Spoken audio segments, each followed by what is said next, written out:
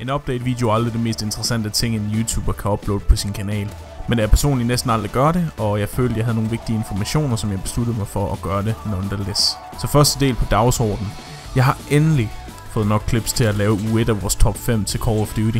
Og oh, var jeg dog nødt til at gå tilbage i arkivet og finde nogle gamle, ubrugte clips frem, så hvis der er nogen af jer, som sendte ind for lang tid siden, I undrer jer over, at I måske er kommet med, så er det derfor. Og hvis du er en af mine top 5 serier, eller du selv spiller Call of Duty, så husk at blive ved med at sende jer klip, jeres klip ind. Jeg har næsten ikke fået en skid til den første uge her, jeg håber. Og jeg er lidt bange for, at uge 1 det bliver også den eneste, fordi hvis, hvis det er med det, så kan vi desværre ikke fortsætte serien. Og det er jo sådan, det er. Hvis det der sker, så er det det, der sker. Men jeg håber lidt med ja, serien, som kommer op med nyt layout af videoer, nye countdown animationer, som er lavet af The One and Only Joss og øh, med Black Ops 3 kommende på trapperne, at vi kan få en, måske en masse nye clips, og det hele taget, at det kunne blive lidt sjovt at prøve at bringe den serie tilbage igen. Det er nødt at lave den, men ja, jeg synes bare, det var ærgerligt, den døde lidt. Anden del på dagsordenen. Jeg har lang tid nu snakket om en ny PC, og hvis det er, at du er en af mine ældre følger, så hvad hedder det, vil du nok kunne vide, at jeg har lavet mange videoer, mange ting og sager, hvor jeg har snakket om, at jeg godt kunne tænke mig at upgrade mit rig, så jeg var i stand til at lave nogle anderledes videoer. Men for dem, der ikke skulle tune ind på min når jeg sjældent livestream og livestream, så har jeg faktisk i senere tid nu sparet en masse penge op. Og så jeg faktisk har mulighed for at købe en helt ny PC. Og jeg skal selvfølgelig nok linke et billede nede i beskrivelsen med, hvad det er, jeg køber. Og, men jeg vil allerede sige, at hvis du er en af dem, som har tænkt sig at komme med den typiske Nej, nej, nej Christian, du skal ikke købe den. Du skal købe den her i stedet for. Så regn med at ignorere dig, på grund af, at jeg har planlagt det her build i længere tid nu, og har haft rigtig mange mennesker til at se på det, komme med forslag til det, og i det hele taget bare kigge på det, for at fortælle mig, om det var noget lort eller noget godt.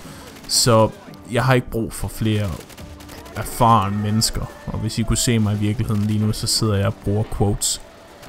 Men jeg kommer til at købe alt det her i cirka starten november. Det er i hvert fald min plan indtil videre. Tredje del på dagsordenen med den nye PC i november, så vil det også betyde mere aktivitet for mig, fordi jeg endelig kan få lov til at lave nogle af de ting, der har holdt mig tilbage for at producere um, ule content på min kanal, og det er fordi jeg bare ikke har haft udstyret til at kan lave nogle af de ting, jeg faktisk gerne vil lave. Men selvfølgelig med Fallout 4, som også kommer ud, så regner jeg med, at jeg endelig kan få lov til at streame det, så og I kan nok regne med, at på dagen spillet kommer ud, så kommer jeg til at sidde og streame i nok 24 timer. Ikke fordi jeg lover en 24 timer stream, fordi det tror jeg ikke personligt selv, jeg kan holde til. Men damn, med det spil, det kunne næsten nok lade sig gøre, hvis det var det. Men det, den tager vi til den tid. Udover det med Fallout 4, så regner jeg ikke med, at jeg skal til at lave nogle serier, så I skal ikke, I skal ikke se næsen efter det. Også bare fordi jeg ved, at der er mange, der ikke... Personligt selv, så synes jeg, at det mest kedeligste i verden, det er at se en Skyrim Let's Play, en Oblivion Let's Play, en Fallout Let's Play, på grund af, at spil spillet selv, fordi det, det, er sådan, det er sådan et spil, du bare ikke kan kigge andre spil, og så er det nok for dig.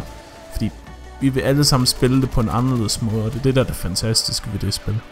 Men jeg kunne dog nok godt finde på at lave nogle mod reviews og mod videoer, på grund af for dem, der ikke skulle vide det. Fallout har faktisk, eller bruger den samme engine, som Skyrim brugte, som er Creative Engine. Den er bare blevet tweaked rigtig meget.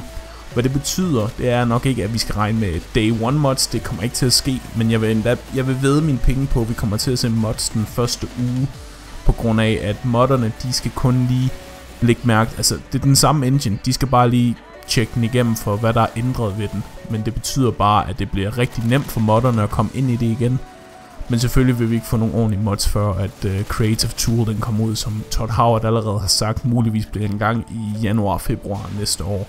Og til sidst den fjerde ting på dagsordenen.